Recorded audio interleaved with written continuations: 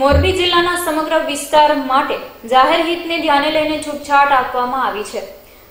જેના નગરપાલિકા વિસ્તાર સિવાયના ગ્રામ્ય વિસ્તારમાં તમામ દુકાનો પચાસ ટકા સ્ટાફ સાથે ચાલુ રાખી શકાશે. તમામે માસ્ક પહેરવાનું તેમજ સોશિયલ ડિસ્ટન્સનું પાલન કરવું ફરજિયાત રહેશે.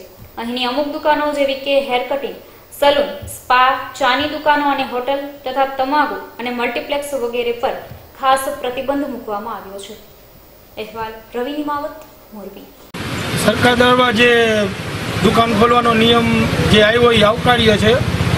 પણ જો પર્સનલી મંતવ્ય પૂછો તો કેસીસ જે કોરોનાના વધી રહ્યા છે, એના માટે હજુ જો થોડુંક લોકડાઉન લંબાવ્યું હોય, તો બધા માટે બેનિફિટ રહે. પણ જે અત્યારે ચુસ્તપણે તેનું પાલન કરવાનું છે સેનિટાઈઝર છે, માસ્ક છે, અને સોશિયલ ડિસ્ટન્સ રાખીને આપણે રહેશું તો કશો વાંધો નહીં આવે.